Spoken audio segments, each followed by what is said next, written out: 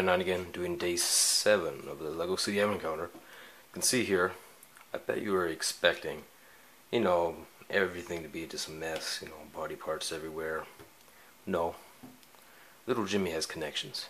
His connections is the Russian mob, so when he wants to get rid of something, they're gone for good. There's no trace. So this little bat, this little sicko is all alone now, because he got rid of everyone. Mr. Tree is gone. Even Mr. Wall. He got rid of Mr. Wall. He didn't. He didn't. He killed Mr. Wall. He kept a couple of mementos though.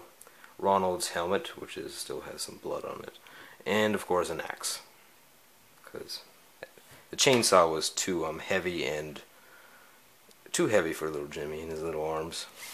He needs to work out. Maybe Santa will give him a workout station. Unlikely, but you know, never know.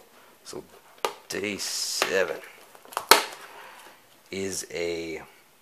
Oh, if only Ronald was here to see this. It's a little fire truck and remote control. Isn't that sweet? Bittersweet. I feel kind of bad for Ronald. Let's have a moment of silence for Ronald. It's good enough. So this build is it's like it's I guess this is kind of like um sort of like the you know the first advent calendar I ever did back in 2010 it's like a toy. But instead of just being a giant um, model of something, like the, they had a crane back then and some other things, this actually has a little remote on the side, which is kind of neat. All things considered. So yeah, you have to you put that together, and you have to put these wheels on here, so that's kind of repetitive, even though there's only four of them. It's a rather small, you know, width and width to it. But of course, it's a tiny model. What am I saying? Can't complain too much about that. So,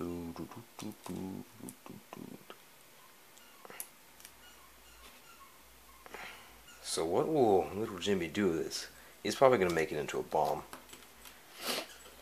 That's something little Jimmy would do. Jimmy um took um tech class in, in school, elementary school. He learned how to make stuff like that.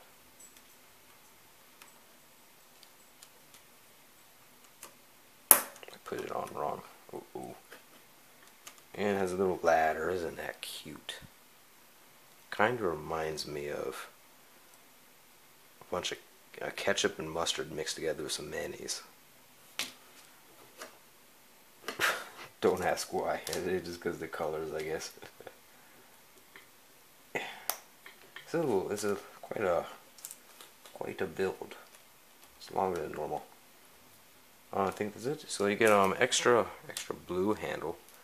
I don't think I see I don't think you see too many blue handles, so that's unique.